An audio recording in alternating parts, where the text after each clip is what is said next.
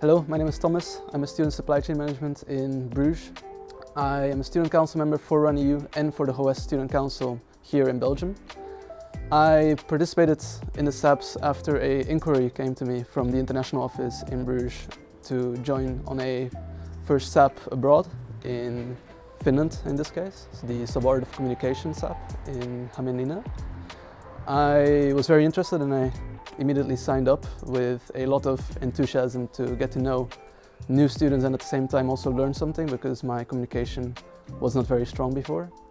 Um, after this I also participated in uh, IPCA in Portugal, the SAP around smart everything, so learning how to use AI and different tools to really work out a working program with a startup idea in mind.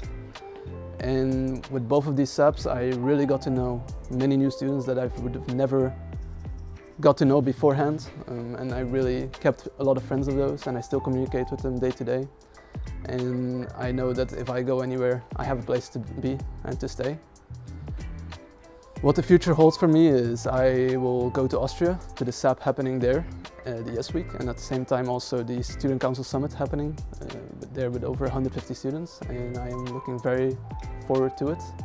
If you as a student are interested in both Kortrijk or Bruges or any other campus of Howest, you can always contact one of your student council members or the international office in your campus and they will guide you through participating in a SAP.